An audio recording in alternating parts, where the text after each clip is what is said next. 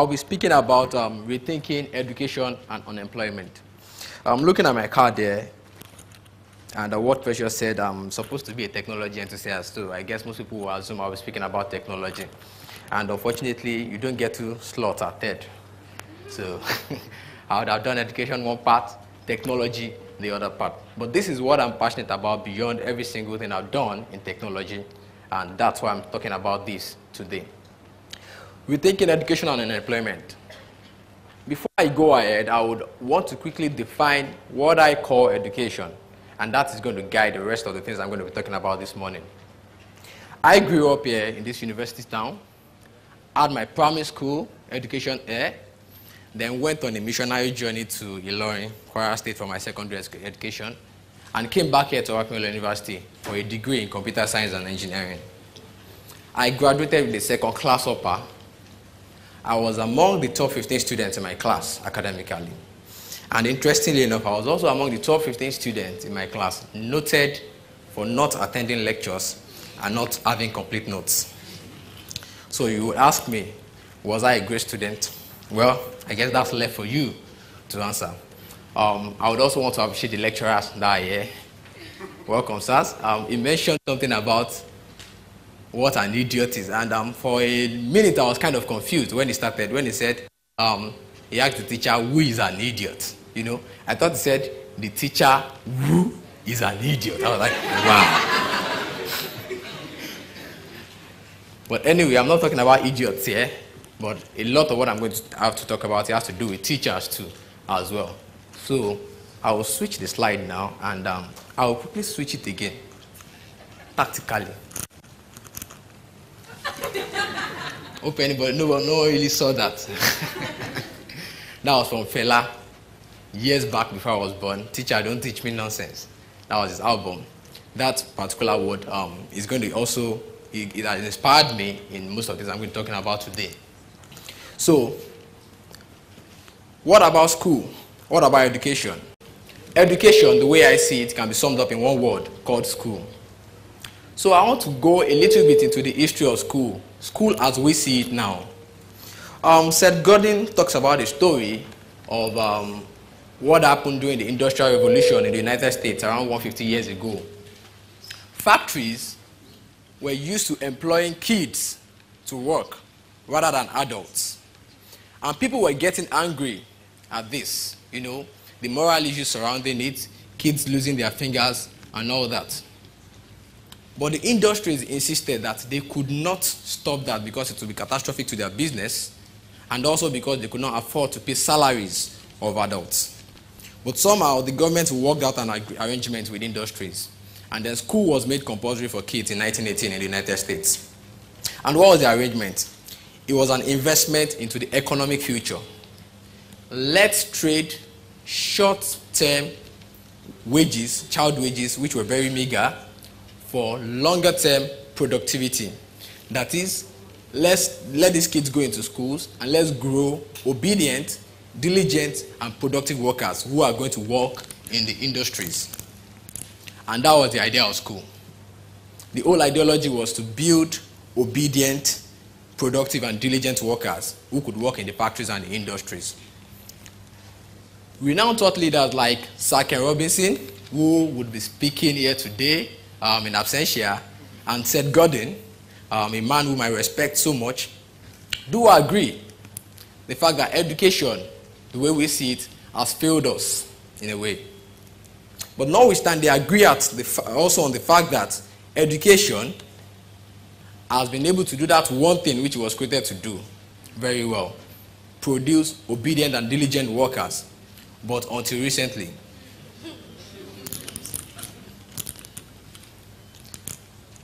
I work at jobberman.com, a jobs website, and we happen to have a lot of insight into what happens in the labor industry. And um, say for law and healthcare, 66% of all the job vacancies in Nigeria in the last two years do not have any specific course as a prerequisite to getting that job.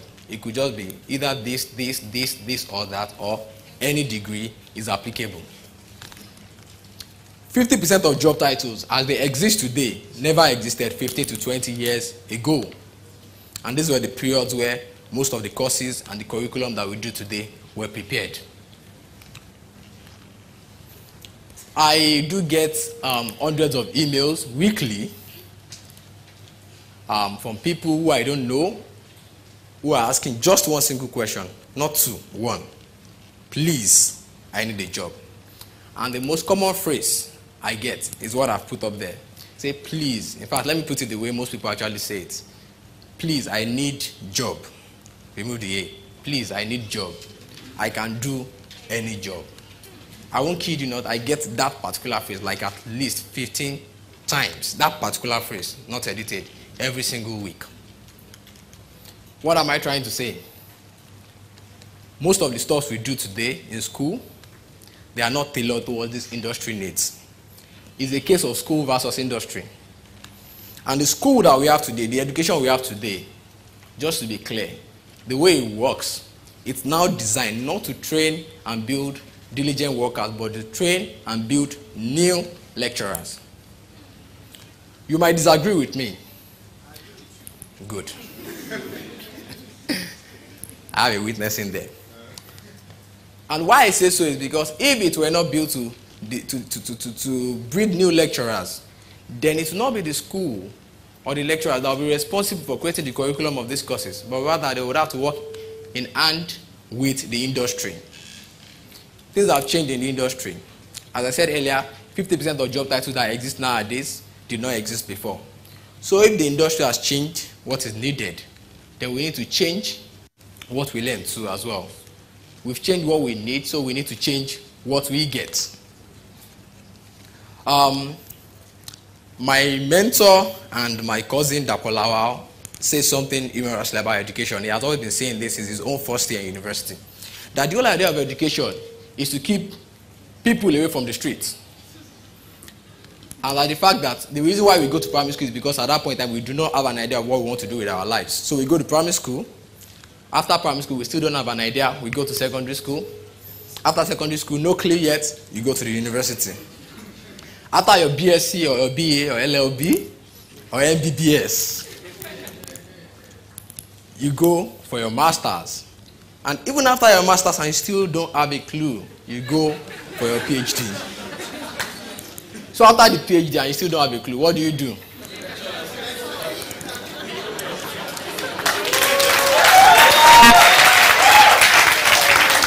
Well, that's on a lighter note. But sincerely speaking, it's true in a way. So, if that's the case, and we say the, the educational system should work in hand with industry to get what we want. So why are we not having courses alongside most of the things that are being done now? Um, I'll switch back to this. Um, I want to talk about martial arts. Why are we not having a course in martial arts? I was with a journalist um, from Wall Street Journal two days ago, and he mentioned having just finished interviewing Asari Dokubo. And they mentioned that Asari Dokubo has a school in Benin, secondary and primary school, where um, it's, a, it's an educational institution, but one of the courses that they take there compulsorily is martial arts. And he was like, what are you trying to do? Why are you teaching kids martial arts? And he answered, he said, kids need to learn how to defend themselves because we do not know what might happen. That's a secondary school, and that's from someone who we all know him for what he is known for. I won't go into that so that they will not come and visit my father's house. How about the course in social media? How about the course in space science? Today, when you hear about space science, the news we hear, common news we hear about space science is um, some Google guy, the Amazon guy. These are people who have nothing to do with space, thinking about science, thinking about space, wanting to explore more stuff in space. Meanwhile, in most schools, like in Nigeria, we don't even talk about this the way we're supposed to be talking about it. The rules have changed, as I said. They've changed totally. The attitude and the skills that are needed from the graduates of today in the industry, they've changed. So how can we make education to work that way? I'm talking about education and unemployment. And I would say employment is basically caused by two things. Unemployment, rather.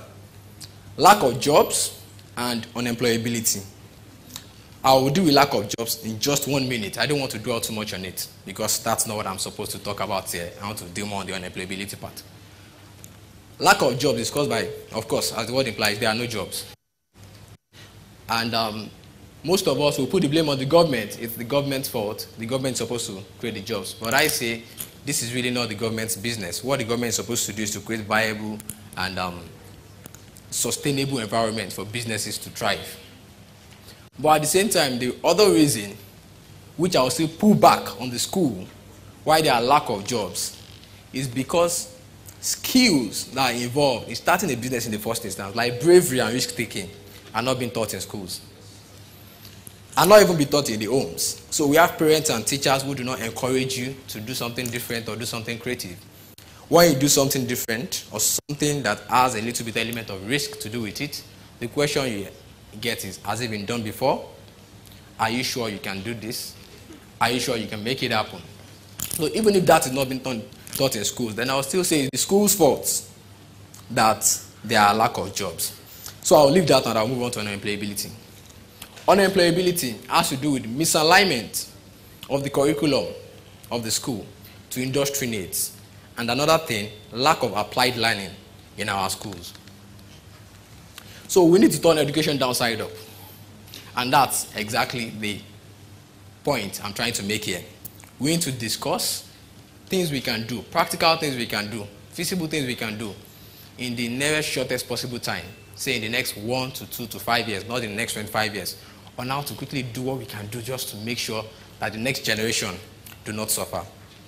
As I said, this is not about harnessing technology. I'm a technology enthusiast, but I'm not here to talk about technology. I believe technology, to a large extent, doesn't solve problems. It makes things easier.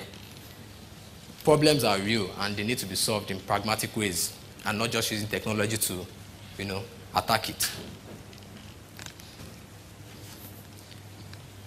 So, we are up now. Education is not power. If education was power, we wouldn't have unemployed and unemployable graduates all around the place. Education is not power, but knowledge is. Knowledge enlightens. Knowledge allows you to think different. Knowledge has no boundaries, it has no borders. While I was in OAU, as I said earlier, I was among the top um, in my class um, in both ways, right? And um, one thing I was clear about thanks to having the opportunity of people guiding me along the right path is the fact that learning was beyond the classroom. I was naturally brilliant, so if you ask me, I would say I scammed the system. It was very, very easy to pass. All you needed to do was get the notes, two weeks to the exam, read it, then score an A. It was very easy to scam the system. It was not, it was not an issue, and it was because of knowledge. So I had people in my class who were more studious, going to classes, writing their notes diligently, and um, they could not score A's because, because the way the system was, A's was reserved for the naturally brilliant. And that's why when someone, well, that's why people always strive to make sure that their child, is kind of brilliant from day one. So if he's brilliant, you can be sure that he doesn't have any issues. It will just, it will be the top in his class till he graduates. But what of the people who are the diligent students, the people who are really doing the real work? So as I said, we need to make education work. And it's not just we. When I mean we, we, us, everybody. Um, we have to put it at different sectors. The government needs to be involved. The schools, and of course, in extension, the teachers need to be involved. Our parents need to be involved too as well. I will take it from, from the government. The government has no business, as I said earlier, creating jobs. Economies cannot be developed by just passing a law and say this year we want to create 50,000 jobs. It doesn't work that way. Products and services need to be created. Those products and services are going to provide openings for people to be employed. Viable environment needs to be put in place for businesses to thrive, and those businesses would be able to hire more people. Today at Jobberman, um, we happen to have a staff strength of around 50. This was a company that did not exist two years ago. And I believe if I learned the ideal school way, 48 people would not have jobs today. That is the way I see it. So, we should stop thinking it's the government's responsibility. The government just needs to create the environment. Of course, we'll still continue to ask them to create the environment. That's very important. Then I'll go to the parents. Parents need to understand one simple thing do not stifle creativity, rather, encourage it. This world has gone beyond the world of engineers, doctors, and lawyers. It's a world of the outstanding and the rest of them. Um, I would illustrate this with this analogy. There are three reasons why we do stuff. There are three reasons why we take actions. The reason we want to believe, the reason we want others to believe, and the real reason why we are doing it. Um, my partner, okay, maybe I should not use that example. Pardon me. Let me just give this analogy. If your dad or your mom wanted you to be a doctor, and you walked up to them and you asked them, Daddy, please, I don't want to be a doctor. Your dad's like, Boy, girl, you just need to be a doctor. I said, Daddy, if I bring 30 million naira into this house today, will you stop talking about doctor? How many parents will say no? It brings us to the fact, to the real reason why they want you to be doctors. It's simply because they love you and they think being a doctor is the best way out for you to be successful. So the real truth is the fact that what parents want from us is for us to be successful. They want their children to be outstanding. And being outstanding is not necessarily by being a doctor, not necessarily by being an engineer, not necessarily by being a lawyer. It's not necessarily by studying any of the courses we study in schools as we see it today. I'll talk about us. What can we all do? Very simple. In our own little way, the first thing we need to understand, and I'll direct this to most of the um, audience here who are students, the fact that we need to learn beyond the classroom. It's good to learn from the class, but you need to learn from other places too as well. Learn from nature. Learn from the problems surrounding you. Learn from the environment. Learn from the web. Learn from online. Test for knowledge. I've been, someone told me yesterday that um, I cannot complete this talk by not and not talk about myself a little bit in a way. And, um, and I'm here because I am me. Right? I learned web design in an hour. I paid 1,000 naira to learn web design right here in OAU, just before I got my admission into OAU. And the rest I learned for myself. If I waited for my computer science and engineering lecturer to teach me how to design websites, I won't be standing here today.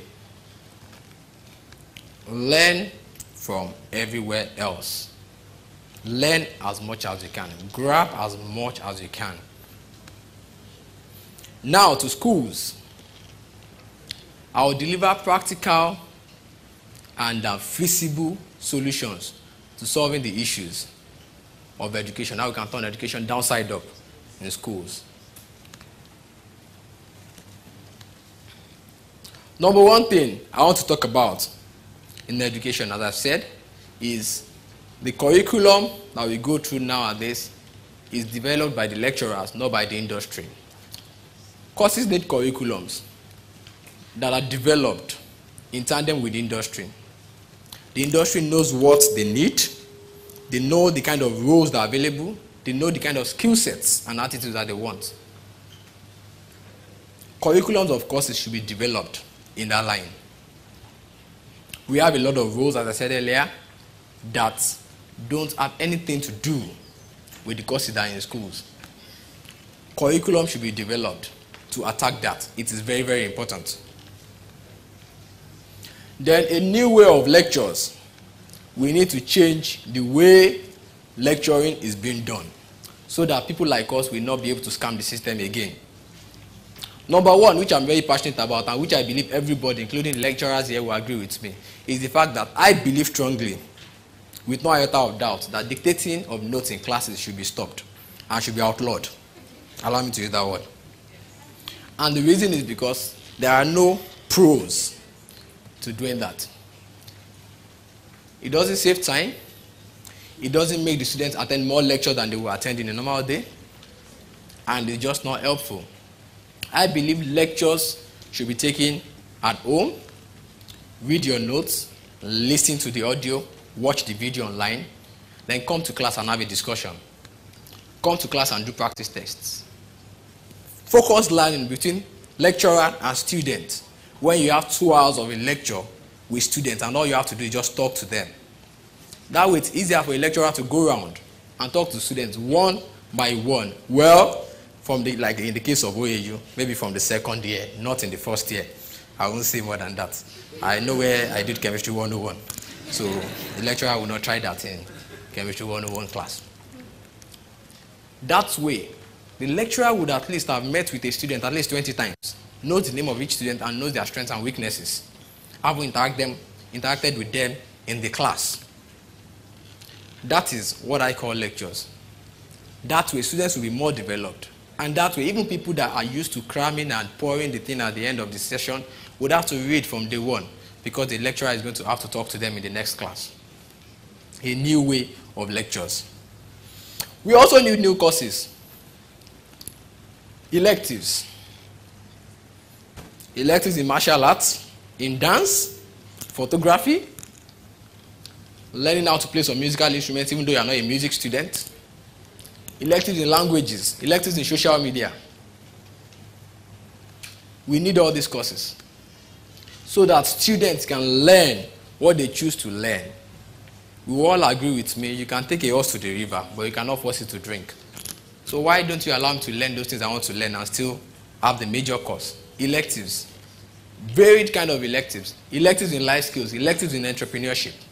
I'm sure we have an elective in eh, entrepreneurship in OA, but we need more and more and these electives should be decided upon based on what is prevalent in the industry, based on what people are trying to learn. And that's it. Let's teach life skills. And lastly, I'll say let's teach English. Very, very important. We need to learn how to speak English very well. Thank you very, very much for your time. Emmanuel, thank you.